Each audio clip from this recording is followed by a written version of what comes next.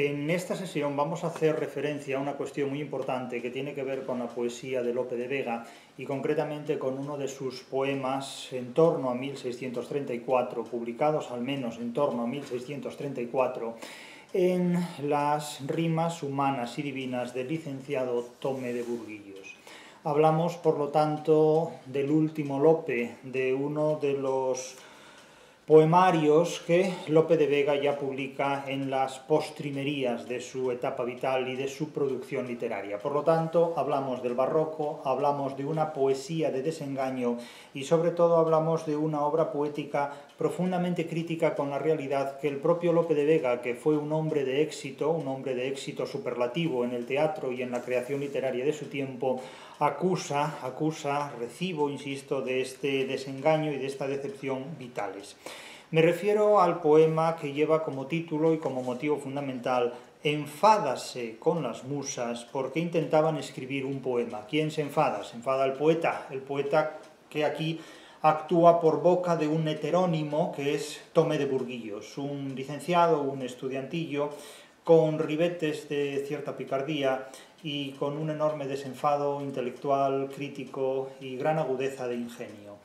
Como sabemos, el heterónimo es la ficcionalización literaria de la persona, de la persona real que escribe realmente el texto literario, en este caso el poema, y que en este particular Lope de Vega enfoca a través de la figura de Tome de Burguillos. Lope de Vega es probablemente el autor de la literatura universal que, en primer lugar, primero que nadie, utiliza el heterónimo como un recurso literario plenamente desarrollado. Insisto en la figura de Tomé de Burguillos, que en este caso se enfada nada menos que con las musas, porque intentaban escribir un poema de una forma muy diferente a lo que para Lope de Vega, transfigurado heterónimamente en Tomé de Burguillos, es una ruptura con la tradición literaria hasta entonces vigente.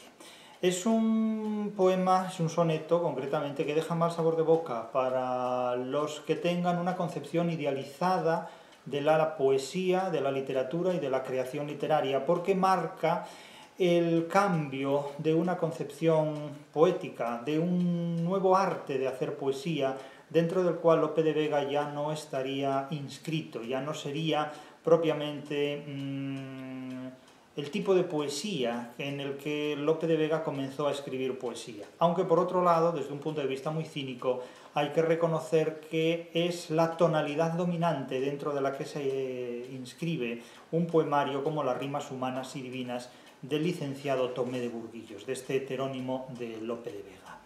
El el soneto va eh, dirigido a las musas, que son entidades mitológicas. Es decir, que mm, lo primero que hay que constatar en este soneto es, es, que el destinatario no es un destinatario humano, real y efectivamente existente, sino que se trata de un destinatario imaginario, mm, imaginario que adquiere carta de ciudadanía y una extraordinaria operatoriedad dentro del mundo de la mitología clásica, mitología clásica y pagana, que sirve ya no solo de telón de fondo, sino de auténtico mundo, de auténtica ontología dentro de la cual discurre casi toda la producción literaria del barroco. Es decir, estamos hablando nada menos que de las musas, esas nueve divinidades hijas de, de en fin, de su padre y de su madre, pero es que su padre y su madre en este caso son eh, nada menos que el padre es, es Zeus, y eh, la madre es eh, Nemosine, eh, hija a su vez de, la tierra y de los cielos, de, Urano y de Gea. Y esta Nemosine, que engendra con Zeus nada menos que las nueve musas, habita en el monte Citerión, y desde allí, pues estas nueve criaturas, estas nueve hijas hermosas, que eso es lo que literalmente significaría las musas, hijas hermosas, embellecidas, pues em, son las que inspiran la, colectividad de, las artes. Pues a estas nueve musas se dirige Lope de Vega mediante el heterónimo de Tomé de Burguillos para reprocharles que el, tipo de arte poética que, ahora se hace y que tendrá vigencia en el futuro es eh, un arte que no se puede tomar en serio porque el mundo no está para tomar en serio absolutamente nada. El mundo ha perdido la seriedad, ha perdido el rigor, ha perdido la sensatez, ha perdido casi diríamos la razón y el arte se ha convertido en algo frívolo, en algo incluso eh, hasta degenerado como consecuencia del servilismo que la literatura ha prestado a determinados poderes fácticos, a determinada opinión pública, diríamos hoy día, que ha hecho que el arte se deteriore completamente. Es decir, que mm, Lope de Vega en este mm, soneto condena lo que hoy llamaríamos el arte comprometido o condena lo que hoy identificaríamos como un arte absolutamente servil. En cierto modo, Lope de Vega se retracta públicamente, se retracta literariamente de haber hecho mm, lo que ha sido buena parte de su vida, es decir, poner su arte al servicio de una causa ideológica, de una causa política, de una causa estamental, de una causa nobiliaria, a cambio de un mecenazgo. Pues bien, eso incluso llega a decepcionarle en, la última etapa de su vida y desde esta actitud de decepción, de desengaño, en definitiva, pues eh, escribe este, este poema. Mm, es importante eh, interpretar la obra poética de Lope de Vega en estos tiempos, porque estos tiempos son tiempos de barbarie, son tiempos en los que el conocimiento eh, resulta una ofensa, es decir, el conocimiento en tiempos de barbarie no es propiamente conocimiento, es un desafío a la necedad de la barbarie, que es lo que trata de imponerse. Entonces, con objeto de evitar que la literatura se convierta en una partitura interpretada por gente que no sabe solfear, pues es eh, necesario eh, interpretar eh, poemas como los de Lope de Vega, porque dentro de unos años, incluso hoy mismo ya, la obra poética de Lope de Vega, como la obra poética de Góngora o de Quevedo, resultará completamente ilegible, completamente incomprensible por la mayor parte de la gente que, insisto, verá la literatura de estos autores, los sonetos de Quevedo, de Góngora o de Lope, los contemplará como un ignorante puede contemplar una partitura musical es decir, como algo ilegible completamente. Pero eso sí, es algo ilegible que los bárbaros interpretan como si la conocieran, como si la pudieran interpretar perfectamente. De modo que no podemos permitir que la literatura se convierta en una partitura eh, interpretable por gente que no sabe solfear, es decir, por la barbarie. Vivimos en tiempos de barbarie, aunque no lo parezca, tiempos de barbarie enormemente sofisticados, donde eh, las personas que no tienen absolutamente conocimientos eh, de nada eh, hablan de todo, opinan de todo y convierten a la literatura en un texto que ellos mm, interpretan como si fuera un texto musical pero sin saber solfear. Contra esta barbarie tenemos que actuar y tenemos que hacer lo posible, mientras haya vida y salud, por interpretar la literatura en términos que resulten asequibles a la inteligencia humana en términos que resulten inteligibles para la inteligencia humana, valga la redundancia, y que eh, más allá de lo sensible satisfagan una explicación inteligible. Y este es el propósito de sesiones como esta. Vamos a explicar por qué se enfada el poeta, el heterónimo, con las musas, porque intentaban escribir un poema. Primeramente vamos a leer el poema eh, de principio a fin, los 14 versos que constituyen un soneto clásico, un soneto ortodoxamente clásico, y eh, después iremos eh, interpretando su contenido, interpretando al menos semánticamente lo más eh, atentamente posible su contenido. El poema dice, reitero el título, Enfádase con las musas porque intentaban escribir un poema. Señoras musas, pues que siempre mienten, aunque menosine hermosas hijas, sepan que se han quebrado las clavijas, ya no hay que utilizar, chanzas inventen, de las horas perdidas se lamenten, que al sol de la opinión miraron fijas, desgreñen del cabello las sortijas, y de moños donados se contenten. Miren que llevo errada la derrota, por ser a la grandeza lisonjeras, pues donde espero siete me dan sota. Dejemos metafísicas quimeras, vuestras mercedes garlen en chacota, que no está el mundo para hablar de veras. Inicialmente, eh, si alguien no está muy familiarizado con el poema, probablemente no habrá entendido nada. Mm, pero esto es lo mismo que ocurre con una partitura musical cuando no se ha estudiado con la debida atención. Volvemos al imperativo, las musas. Las musas que siempre mienten. Señoras musas, pues que siempre mienten. ¿Qué implica aquí esta apelación a la mentira? Hay que recordar que en la teodicea, de, en la teogonía de Hesíodo, eh, esa especie de, teodicea, titulada Teogonía de Hesíodo, Hesíodo comienza escribiendo una afirmación que pone en boca de las musas que eh, dice algo así como, mm, las musas hablan y dicen algo así como, sabemos decir muchas mentiras con apariencia de verdades y sabemos cuando queremos proclamar la verdad. Claro, esta es la esencia en definitiva de la literatura. La literatura que se percibe como una mentira, que no es tal mentira, porque no es ni verdadera ni falsa, sino simplemente ficticia. La ficción es una forma de sustraerse a la, a la mentira. De hecho, la literatura inventó la ficción para sustraerse a la mentira que suscribía la religión. Y esta es la diferencia entre el arte, la literatura y la creencia metafísica, la religión, la dogmática religiosa sobre todo. Pero las musas advierten eso, es decir, sabemos decir muchas mentiras con apariencia de verdades y eh, sabemos cuando queremos proclamar la verdad.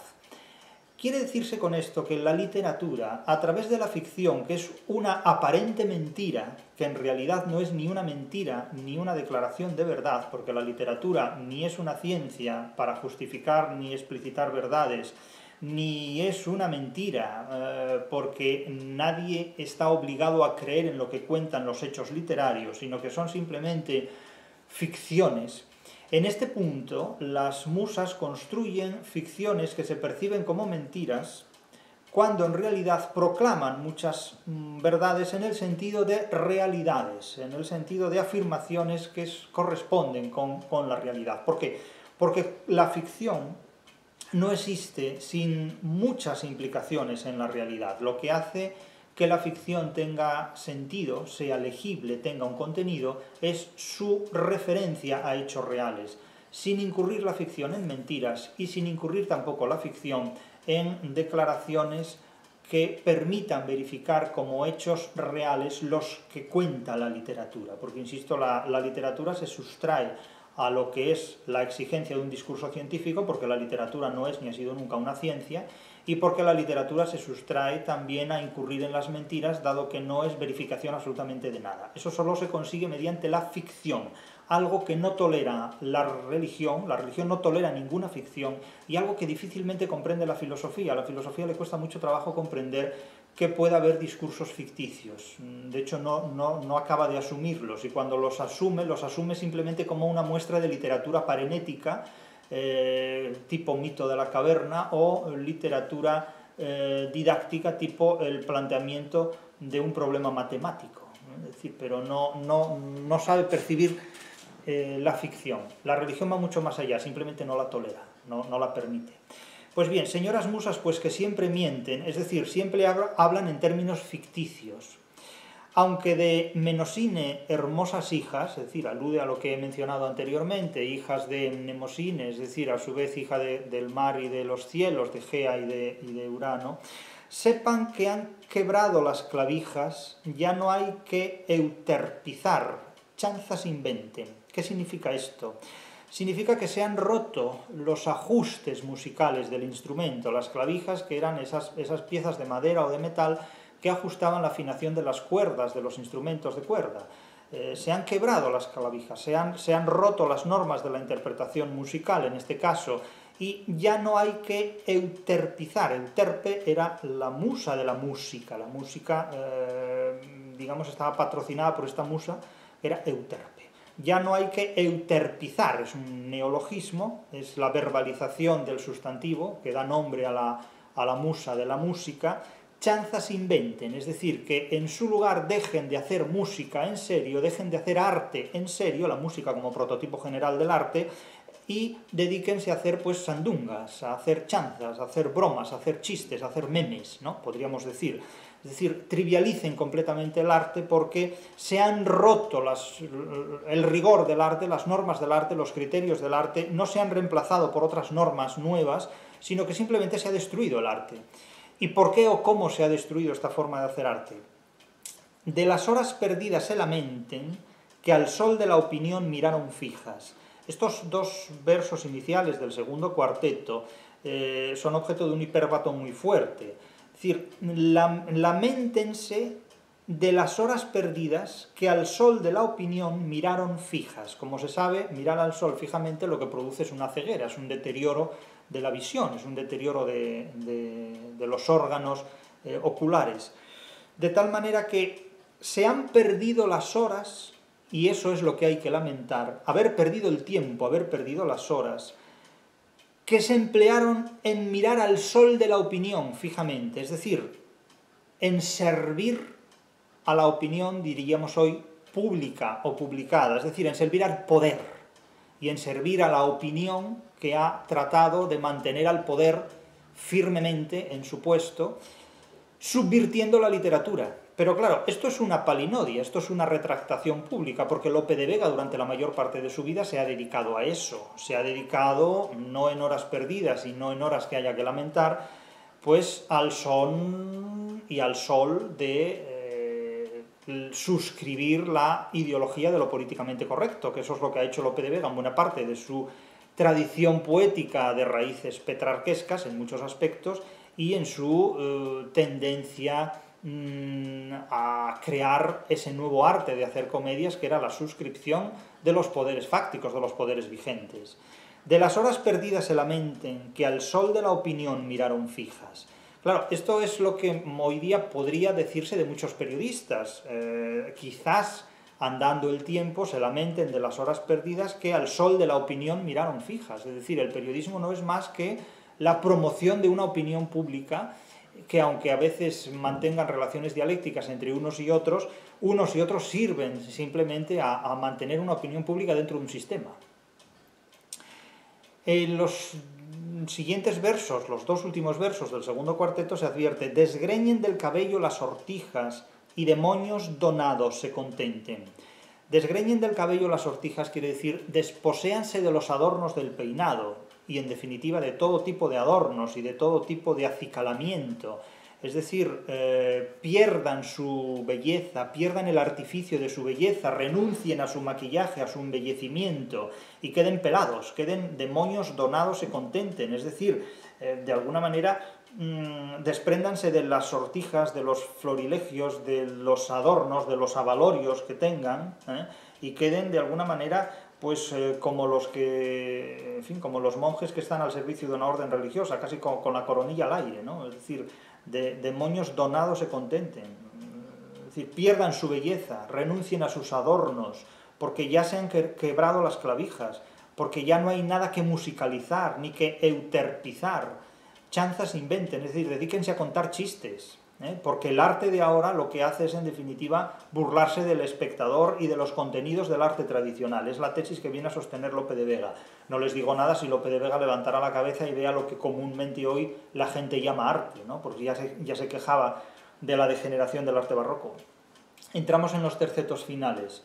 Miren que llevo errada la derrota. La derrota es el rumbo, en fin, la derrota de, un barco, es decir, el rumbo que, lleva, digamos, un alguien que gestiona una empresa marítima, miren que llevo errada la derrota, es una metáfora muy común, la, nave que navega, en este caso se toma de aquí eh, el rumbo, el sinónimo de rumbo, miren que llevo errada la derrota, miren que llevo el rumbo equivocado, por ser a la grandeza lisonjera, es decir, lo, lo, que hace precisamente desviarnos de la genuina orientación y de la genuina esencia del arte es el servilismo. Eh, es el servilismo, es decir, incurrir en lo que llamaríamos una literatura programática o comprometida con un determinado sistema ideológico, político, eh, gremial, gregario, que sea, estético incluso, pero claro, Lope de Vega siempre ha cultivado una literatura que ha suscrito o bien una orientación política o bien unos preceptos estéticos muy definidos, creados incluso por el propio Lope en su arte nuevo hacer comedias de 1609. Miren que llevo errada la derrota, ¿por qué? Por ser a la grandeza lisonjeras, es decir, por ser un lameculos, diríamos abiertamente, por estar eh, adorando, alabando, eh, practicando el servilismo de determinadas opciones de los poderosos, que al sol de la opinión miraron fijas. Pues donde espero siete me dan sota, es decir, donde contaba con obtener unos beneficios por hacer este tipo de trabajos, he recibido calabazas, he recibido decepciones, en, definitiva, he recibido un mal pago, ¿no?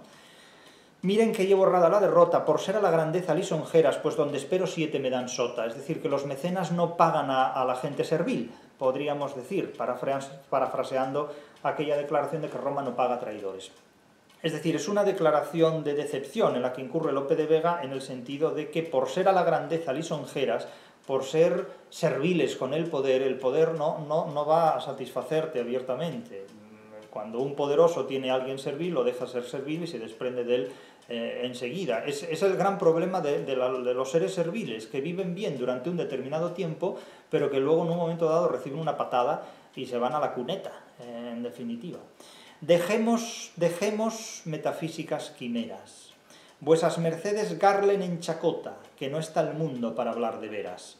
este último terceto ha de interpretarse en el sentido siguiente. El dejemos metafísicas quimeras apela claramente a la tradición literaria anterior, a la tradición literaria del Renacimiento, Petrarca básicamente, Garcilaso, es decir, los autores de las utopías, de los idealismos renacentistas, que cantan al amor, que cantan a un amor más o menos trágico, más o menos inquietante, más o menos feliz, pero que de alguna manera no ven los desengaños de la vida real. El Renacimiento canta una belleza inmortal, canta una belleza que difícilmente se marchita, porque cuando se toma conciencia de lo marcesible que resulta esa belleza, ya estamos entrando, ya estamos muy adentrados, muy entrados dentro de lo que es el barroco. Pero dejemos metafísicas quimeras. El mundo no está para metafísicas, el mundo no está para quimeras. El mundo del barroco es un mundo muy materialista. Es un mundo que es consciente de la amenaza materialista y del desgaste que el materialismo implica en cualquier exaltación de las utopías renacentistas, en cualquier exaltación de los idealismos.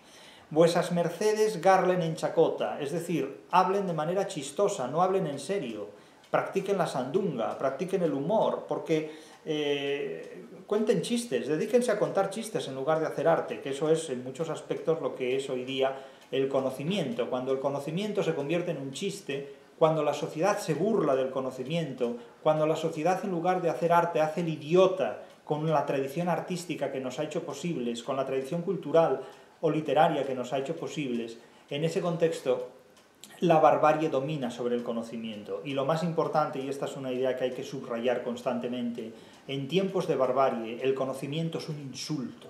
En tiempos de barbarie la figura del profesor está reemplazada por la figura del bárbaro, por la figura del pedagogo, básicamente. Pedagogo es el que enseña lo que no sabe. Y cuando el pedagogo reemplaza al profesor, evidentemente se están reemplazando los contenidos que deben destinarse a la instrucción pública de los seres humanos por contenidos que simplemente despistan al ser humano y que lo conducen a metafísicas quimeras, que es de lo que aquí el poeta se trata de desprender. Dejemos metafísicas quimeras. Eso es lo que no debe ser nunca una sociedad civilizada, una sociedad basada en metafísicas quimeras, sino todo lo contrario, en un conocimiento de la realidad que evite el engaño. ¿A través de qué? De la experiencia superlativa de conocimiento, que es el desengaño. El conocimiento tiene que estar orientado a desengañarse frente a las apariencias que ocultan la verdad y sobre todo debe estar orientado a superar las consecuencias del desengaño, porque hay personas que una vez desengañadas, una vez decepcionadas, no son capaces de seguir compitiendo, de seguir viviendo, de seguir superando sus limitaciones. De tal manera que si por una parte el mundo anglosajón presenta como receta para vivir un estado de felicidad, un estado lisérgico, un estado narcótico completamente, vivir en las apariencias, vivir en las metafísicas quimeras, el mundo de la hispanosfera, el mundo del hispanismo, de la hispanidad básicamente, lo que plantea es el desengaño, el desengaño a través de la experiencia del barroco, es decir, la superación de las limitaciones personales enfrentándose al desengaño que nos ofrecen las apariencias y a superarse un, uno a sí mismo, uno a sí mismo en definitiva, mediante el conocimiento de una realidad que con frecuencia trata de engañarnos a través de metafísicas quimeras, a través de creencias idealistas irracionales. Es decir, lo que plantea de alguna manera eh, Lope de Vega en este eh, soneto es una crítica a esa literatura que por subordinarse a los poderes fácticos, políticos, económicos, financieros, estamentales, ideológicos, del tipo que sea, lo políticamente correcto, que fue en cierta manera lo que Lope de Vega hizo a lo largo de toda su vida, en fin, una crítica a ese tipo de literatura que mm, precisamente renuncia a los valores genuinos, que son la crítica al poder, la crítica a la economía, la crítica a las ideologías, la crítica a lo que es criticable, en lugar de convertirse en el sol de la, de la, opinión, el sol de la opinión al que miran fijamente y al que sirven las musas servilmente, valga la redundancia. Que no está el mundo para hablar de veras, y el mundo ya no está para hablar de veras porque nadie se toma absolutamente en serio nada. Y cuando alguien vive en un mundo en el que las cosas serias no se toman en serio porque se someten a parodia porque la educación es una parodia del conocimiento, porque el contenido de lo que se enseña en las escuelas, en los centros de enseñanza media y en las universidades no es conocimiento, sino una parodia del conocimiento. Cuando el profesor, encarnado en la figura del pedagogo, es una parodia del conocimiento, cuando el arte es una parodia del propio arte porque ya carece de contenidos, es porque el mundo ya no está para hablar de veras. Y cuando el mundo no está para hablar de veras, entonces podemos decir no que el arte haya muerto, sino que el arte se ha corrompido, porque se ha comprometido con una serie de valores que son propios de la barbarie, no de la civilización, es decir, de una sociedad que no puede preservar la inteligibilidad del arte de nuestros antepasados. Cuando la literatura se convierte en una partitura interpretada por gente que no sabe solfear, no estamos ante un profesor, estamos ante un pedagogo, estamos probablemente ante un bárbaro, ante alguien que ha destruido el arte y el conocimiento que nos ha hecho posibles. Y precisamente contra ese tipo de tendencias hemos de trabajar, insisto, mientras haya vida y salud, para hacer inteligible y asequible al conocimiento humano lo que la literatura es. Porque, insisto, la literatura es un desafío a la inteligencia humana, que no proporciona conocimientos, sino que los exige. La literatura exige conocimientos para saber interpretarla, de la misma manera que una partitura no proporciona conocimientos, sino que los exige, exige saber solfear, exige saber conocimientos sobre notación musical. Pues lo mismo la literatura. La literatura lo primero que exige es saber leer y escribir. Si no sabemos leer y escribir no podemos eh, interpretar textos literarios. Y exige algo más que saber leer y escribir. Exige haber vivido. Es decir, si no se ha vivido desde la inocencia, no se puede interpretar la literatura. El nombre indigno de la, inocencia es la ignorancia. La ignorancia es el nombre que tienen los inocentes adultos, es decir, entidades que no existen, porque nadie puede conservar la inocencia dentro de su edad adulta, entonces ya se convierte en un ignorante. Ahora bien, cuando en una sociedad se defiende la ignorancia, se defiende la barbarie, e incluso las instituciones educativas legitiman la ignorancia y legitiman la barbarie, a esa sociedad le queda muy poco tiempo de supervivencia, porque otra sociedad donde la barbarie no se legitime y donde el conocimiento científico y el conocimiento cultural se desarrolle con fuerza, acabará por absorber y acabará por destruir y disolver a esa sociedad bárbara que ha hecho de la ignorancia su forma de ser. Contra esta manera de actuar actúa indudablemente, a su vez, la literatura española del barroco y concretamente la obra poética de Lope de Vega. Dejémonos de metafísicas quimeras. Afrontemos la realidad tal como es y seamos realistas, materialistas y racionalistas y dejémonos de idealismos que nos hacen incompatibles con la realidad de la que materialmente formamos parte, porque eso es lo que somos, realidad operatoria y material.